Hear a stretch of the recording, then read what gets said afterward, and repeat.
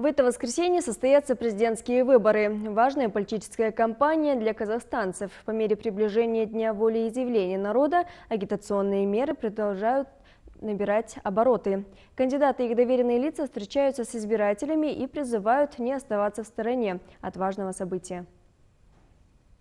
Члены Республиканского общественного штаба кандидата в президенты Касымжо Марта Токаева провели ряд встреч с жителями Атырауской области. Члены штаба сначала встретились с коллективом нефтегазового завода «Болашак» и обратили внимание на меры по развитию энергетического сектора страны.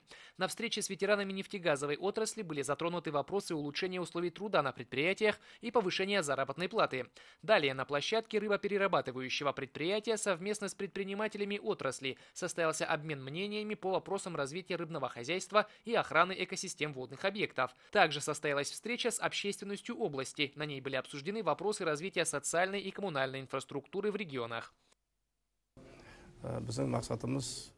В связи с выборами коалиционная группа приехала в Атырау. Наша цель – встретиться с местным населением, людьми на производствах и объяснить важность выборов и все, что с этим связано. В рамках агитационной кампании Мирам Кажикин ранее посетил 9 регионов страны, после чего прибыл в Алматы. Сначала он провел совещание с представителями правоохранительных органов, Департамента по борьбе с коррупцией и общественными деятелями. Состоялся обмен мнениями на тему взяточничества. После встречи кандидат посетил Дом ветеранов Шанырак, где встретился с получателями социальных услуг и людьми труда. Узнав о состоянии пожилых людей, он представил предвыборную программу. Ветераны подняли пенсионный вопрос, а люди труда говорили о возрасте выхода женщин на пенсию комиссию. Затем кандидат отправился на завод по производству вентиляторов. У Мирама Кажикена запланирован ряд дальнейших встреч в Алматы. Культура, гражданское общество, исполнение законов, как бороться с коррупцией, прежде всего в культуре, в сознании человека, как народа, так и общества. У нас должно быть сильное гражданское общество. Если гражданское общество будет сильным, то власть тоже будет находиться под контролем. У нас есть законы, но статьи законов должны быть четко соблюдены. Продолжаются встречи кандидатов в президенты Каракат Абден в Шимкенте. Она побывала в одном из крупных производственных центров мегаполиса. Ознакомив коллектив с основными направлениями предвыборной программы, она ответила на вопросы. На фабрике трудятся 120 человек, производят одежду, постельное белье. Затем кандидат встретилась с наблюдателями со стороны Организации по безопасности и сотрудничеству в Европе. Они обменялись идеями и мнениями по поводу предстоящей политической кампании. После Шимкента президента Каракат Абден планирует посетить Туркестанскую область.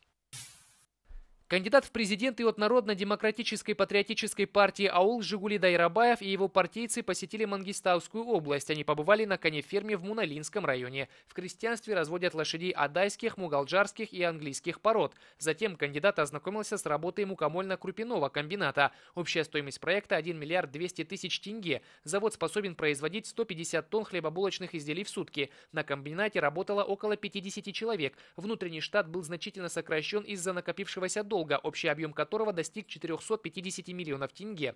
Один из цехов на территории комбината вышел из строя. Бұл шаруашылықтардың бірінші проблемасы бұл мал Первая проблема этих хозяйств – корм для животных. Как известно, в прошлом году была засуха. Мы видели последствия. В этом году было много дождя и много влаги. Слава богу, получили хороший продукт. Основная проблема мукомольного хозяйства – нехватка вагонов. Да, государство предоставило дешевую пшеницу, но у нас нет вагонов, чтобы доставлять зерно.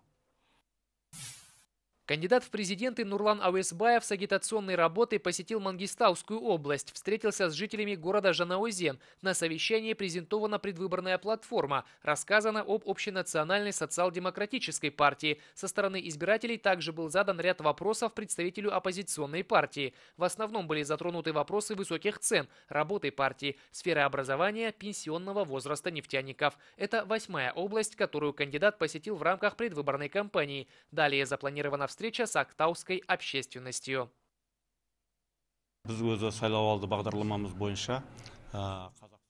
По нашей предвыборной программе мы проехали по всем регионам Казахстана, кроме восточной части страны. Мнения, высказанные во время встреч, были различными о структуре государства и другие мнения. Но один из вопросов, который мне очень понравился, касался выборов депутатов-маслихатов на местах, о том, как повысить их активность. Кандидат в президенты Салтанат Турсынбекова с предвыборной агитационной кампанией посетила Атыраускую область. Проведены встречи с работниками медицинских учреждений, представителями неправительственных организаций и общественными активистами. В ходе совещания кандидат разъяснила предвыборную программу и ответила на актуальные вопросы жителей. Основной вопрос, озвученный на встрече – снижение материнской и младенческой смертности. Всесторонне обсуждались пути улучшения ситуации в этой сфере. Кандидат выделила основные причины негативного явления в обществе и высказала свое отношение к путям его решения.